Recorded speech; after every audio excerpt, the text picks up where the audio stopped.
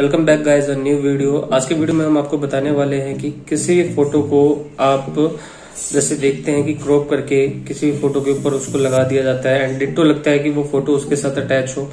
तो हम उस फ़ोटो का बैकग्राउंड कैसे हटाएँगे, क्या प्रोसेस है, हम सब कुछ कैसे क्रॉप कर सकते हैं।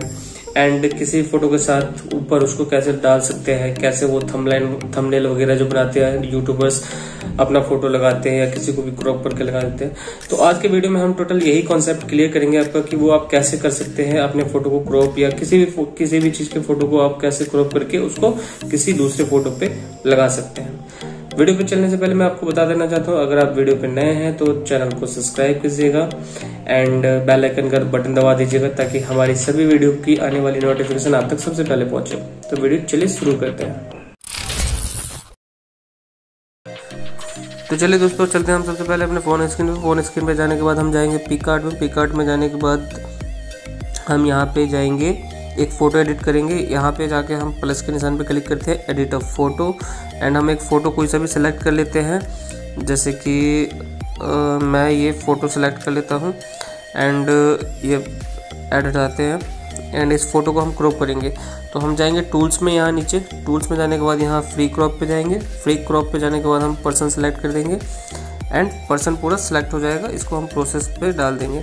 अगर आपको ऐसे मैनुअली भी सिलेक्ट करना है तो आप मैनुअली वहाँ पे आइकन है, वो टूल सेलेक्ट करके आप इसको मैनुअली भी ऐसे ऐसे डिज़ाइन कर सकते हैं एंड इसको कट कर सकते हैं। बारी के तरीके से आप इसको जूम करके भी कट कर सकते हैं। अब ये हो गया कट अब मैं इसको करता हूँ सेव ये हो गया सेव जैसे कि मैं अभी आपको बता रहा था मैनुअली कैसे कर सकते हैं वही बता देता हूँ। फ्री कॉप पे जाएँगे।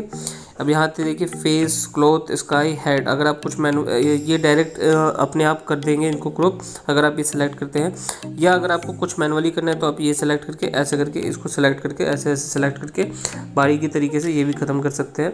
इस तरीके से भी कर सकते हैं। अब ये हो गया, अब मैं इसको कर लेता हूँ सेव मैं अपने फ़ोन में मैंने इसको कर लिया, अब सेव अब मैं आपको इसको किसी फ़ोटो पे लगा के दिखाता हूँ, ठीक है दोस्तों?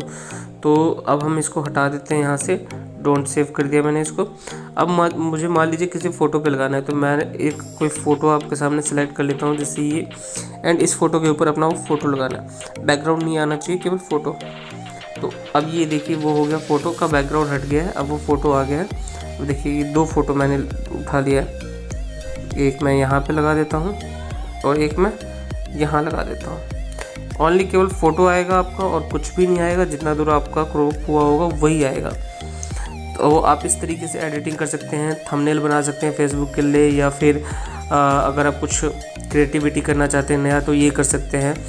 तो ज़्यादातर यूट्यूबर इस यही तरीका अपनाते हैं जल्दी काम करने के लिए। इससे टाइम का बचत होता है और जल्दी वो थंबनेल भी बना लेते हैं। तो बस यही बताना था।